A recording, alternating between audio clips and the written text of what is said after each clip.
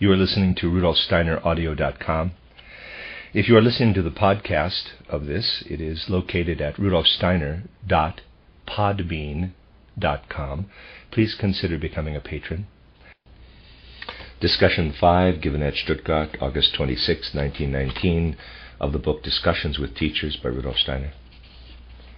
Rudolf Steiner. It is most important that along with all our other work we should cultivate clear articulation. This has a kind of influence, a certain effect. I have here some sentences that I formulated for another occasion. That ha- they have no especially profound meaning, but are constructed so that the speech organs are activated in every kind of movement, organically.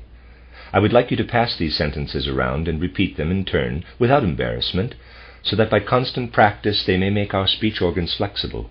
We can have these organs do gymnastics, so to speak. Mrs. Steiner will say the sentences first as it should be done artistically, and I will ask each one of you to repeat them after her. These sentences are not composed according to sense and meaning, but in order to do gymnastics, in quotes, with the speech organs. Footnote. Elsewhere, Steiner stated, quote, In giving artistic shape and form to speech, healthy cooperation and harmonization of body, soul, and spirit manifests. The body shows whether it can incorporate the spirit correctly. The soul reveals whether the Spirit truly lives in it, and the Spirit is vividly present, working directly into the physical. Unquote from Creative Speech, Rudolf Steiner Press, London, 1978, page 33. The original German speech exercises may be found in the appendix. And footnote. Dart may these boats through darkening gloaming, name neat Norman on nimble, moody mules. The N is constantly repeated, but in different combinations of letters, and so the speech organ can do the right gymnastic exercises. At one point, two N's come together. You must stop longer over the first N in on nimble. Rattle me more and more rattles now rightly.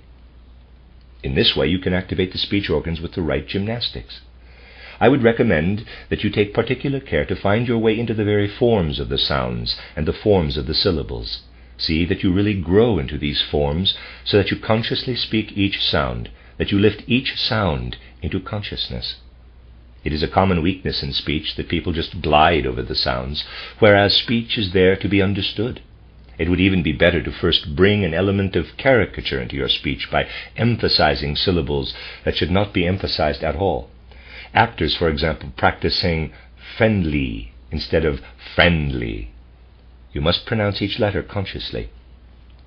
it would even be good for you to do something like Demosthenes did, though perhaps not regularly. You know that when he could not make any progress with his speaking, he put pebbles on his tongue, and through practice strengthened his voice to the degree that it could be heard over a rushing river. This he did to acquire a delivery that the Athenians could hear. I will now ask Miss B to introduce the question of temperaments. Since the individual child must be our primary consideration in teaching, it is proper that we study the basis of the temperaments with the maximum care. Naturally, when we have a class, it is not possible to treat each child individually. But you can give much individual treatment by having on one side, let's say, the phlegmatics and melancholics, and the sanguine and choleric children on the other side. You can have them take part in a lively interchange, turning now to the group of one temperament and then calling on another group for answers, saying this to one group and that to another. In this way, individualization happens on its own in the class. End section. A comprehensive picture was presented of the temperaments and their treatment. Rudolf Steiner. You have given a good account of what was spoken of in our conversations together on this subject. But you may be going too far when you assert with regard to the melancholic temperament that it has a decided inclination toward piety. There is only one little word lacking, quote unquote, often. It is also just possible that the melancholic disposition in children is rooted in pronounced egoism, and in no way has a religious tendency. With adults, you can leave out the little word often, but in young children, the melancholic element often masks a pronounced egoism. Melancholic children are often dependent on atmospheric conditions. The weather often affects the melancholic temperament. The sanguine children are also dependent on atmospheric conditions, but more in their moods, in the soul. whereas the melancholic children are affected more unconsciously by the weather in the physical body. If I were to go into this question in detail from the standpoint of spiritual science, I would have to show you how the childish temperament is actually connected with karma. How in the child's temperament something really appears that could be described as the consequence of experiences in previous lives on earth. Let's take the concrete example of a man who is obliged in one life to be very interested in himself. He is lonely and is thus forced to be interested in himself. Because he is frequently absorbed in himself, the force of circumstances causes him to be inclined to unite his soul very closely with the structure of his physical body. And in the next incarnation, he brings with him a bodily nature keenly alive to the conditions of the outer world. He becomes a sanguine individual. Thus it can happen that when someone has been compelled to live alone in one incarnation, which would have retarded the person's progress, this is adjusted in the next life through becoming a sanguine, with the ability to notice everything in the surroundings. We must not view karma from a moral, but from a causal perspective. When a child is properly educated, it may be of great benefit to the child's life to be a sanguine, capable of observing the outer world. Temperament is connected to a remarkable degree with the whole life and soul of a person's previous incarnation. End section. Dr. Steiner was asked to explain the changes of temperament that can occur during life, from youth to maturity. Rudolf Steiner. If you remember a course of lectures that I once gave in Kassel about the Gospel of St. John, you will recall the remarks I made concerning the relationship of a child to his or her parents, footnote the Gospel of St. John, and its relation to the other Gospels, Anthroposophic Press, Hudson, New York, 1982, end footnote. It was stated there that the father principle works very strongly in the physical body and the capital I, and that the mother principle predominates in the etheric and astral bodies. Goethe divined this truth when he wrote the beautiful words, quote, From my father I have stature, connected with the physical body, and the serious conduct of life, connected with the capital I. From my dear mother, my happy nature, connected with the etheric body, and joy in creative fantasy, connected with the astral body. there is extraordinary wisdom in these words. What lives in the human being is mixed and mingled in a remarkable way. Humankind is an extremely complicated being. A definite relationship exists in human beings between the I and the physical body, and again a relationship between the etheric body and the astral body. Thus, the predominance of one can pass over into the predominance of another during the course of life.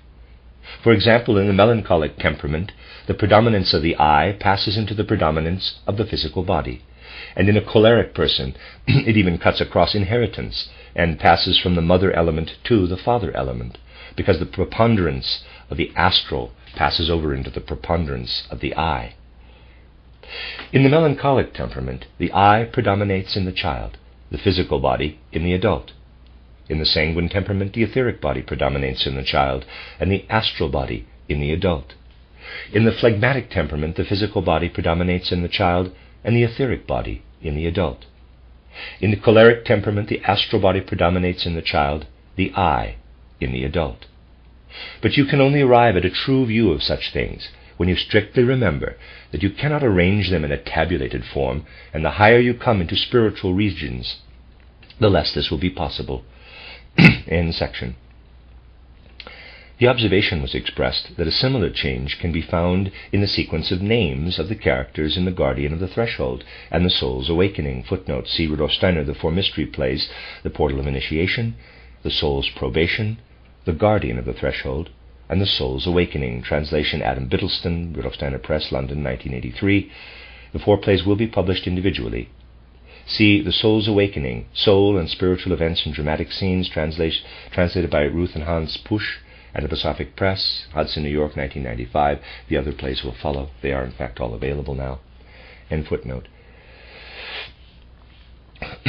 Rudolf Steiner. There is a change there that is definitely in accordance with the facts.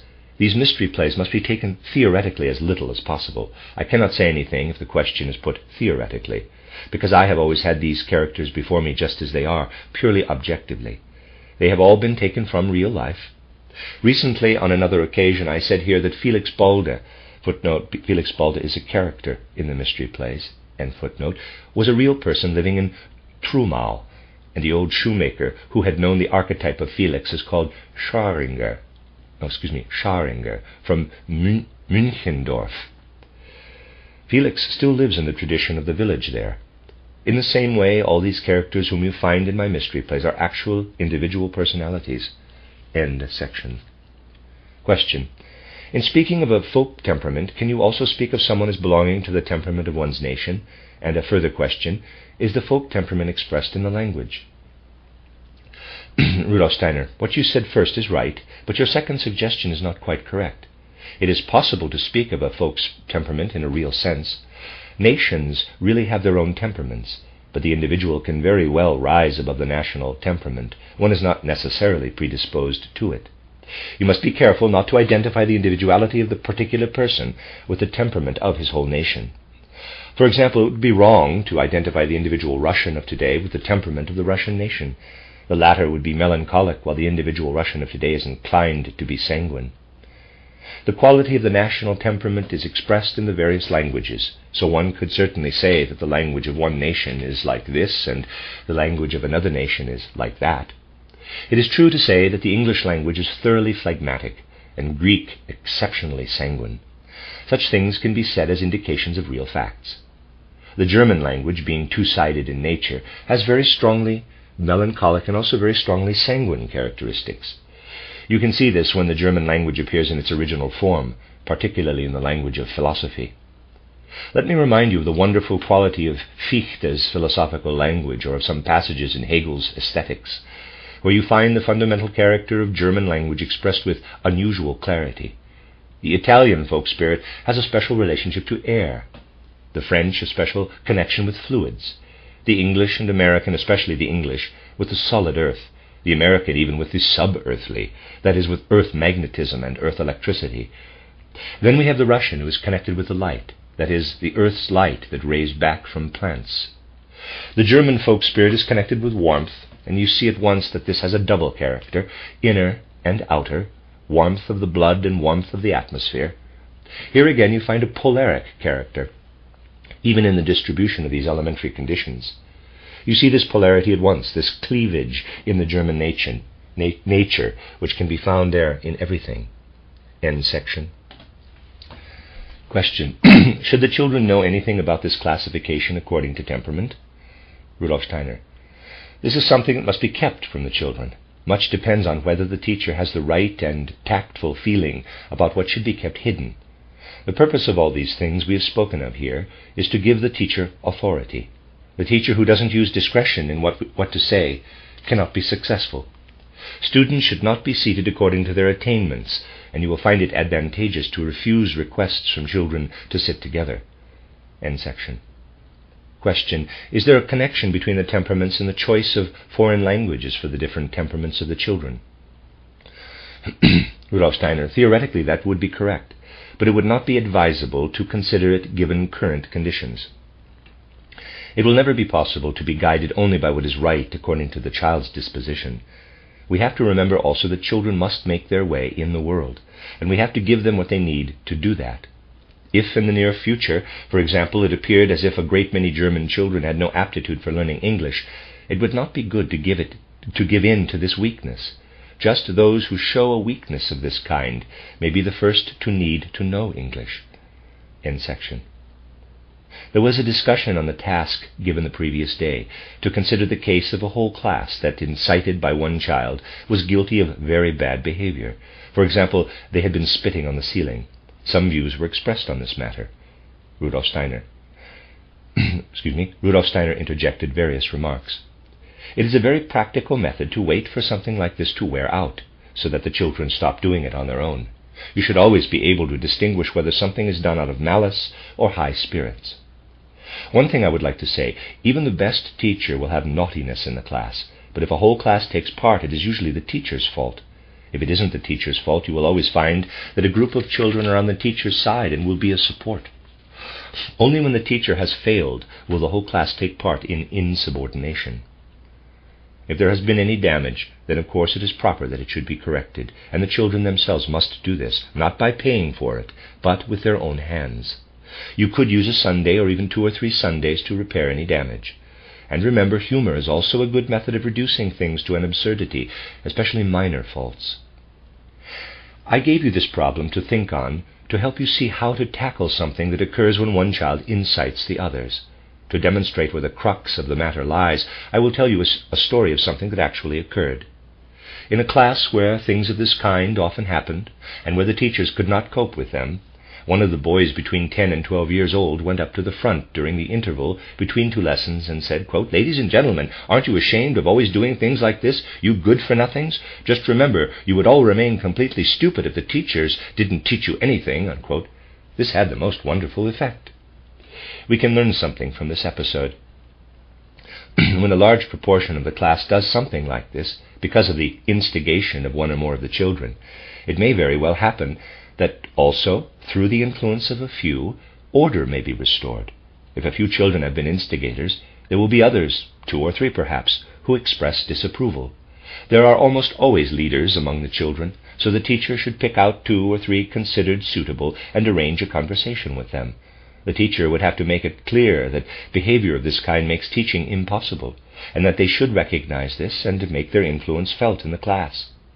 These children will then have just as much influence as the instigators, and they can make things clear to their classmates. In any situation like this, you must consider how the children affect one another.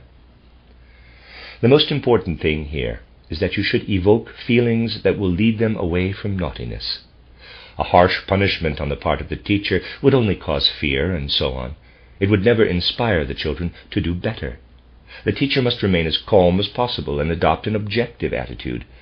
That does not mean lessening the teacher's own authority. The teacher could certainly be the one to say, quote, Without your teachers you would learn nothing and remain stupid, unquote.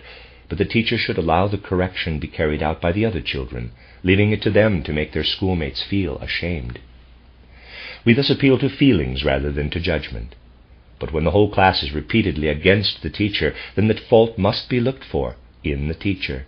Most naughtiness arises because the children are bored and lack a relationship with their teacher. when a fault is not too serious, it can certainly be very good for the teacher to do just what the pupils are doing. To say, for example, when the pupils are grumbling, quote, Well, I can certainly grumble too. Unquote. In this way, the matter is treated homeopathically, as it were. Homeopathic treatment is excellent for moral education. It's also a good way to divert the children's attention to something else, although I would never appeal to their ambition. In general, however, we seldom have to complain of such misdemeanors. Whenever we, you allow, excuse me, whenever you allow mischievousness, mischievousness, I don't know how to say that word, mischievousness, I would say, but it's not spelled that way. Whenever you allow mischievousness of this kind to be corrected by other children in the class, you work on the feelings to reestablish weakened authority. When another pupil stresses that gratitude must be felt toward the teacher, then the respect for authority will be restored again. It is important to choose the right children. You must know your class and pick those suited to the task. if I taught a class, I could venture to do this. I would try to find the ringleader, whom I would compel to denounce, as much as possible, such conduct, to say as many bad things about it as possible. And I would ignore the fact that it was this student who had done it. I would then bring the matter quickly to a close, so that a sense of uncertainty would be felt in the minds of the children, and you will come to see that much can be gained from this element of uncertainty. And to make one of the rascals involved describe the incident correctly and objectively will not in any way lead to hypocrisy. I would consider any actual punishment superfluous, even harmful. The essential thing is to arouse a feeling for the objective damage that has been caused and the necessity of correcting it. If teaching time has been lost in dealing with this matter, then it must be made good after school hours, not as a punishment, but simply to make up the time lost. I will now present a problem of a more psychological nature. If you have some rather unhealthy goody-goodies in the class, children who try to curry favor in various ways, who have a habit of continually coming to the teacher about this, that, and the other, how would you treat them? Of course, you can treat the matter extremely simply. You could say, I am simply not going to bother with them, but then this peculiarity will be turned into other channels. These good children will gradually become a harmful element in the class. The end of lecture, excuse me, the end of discussion 5.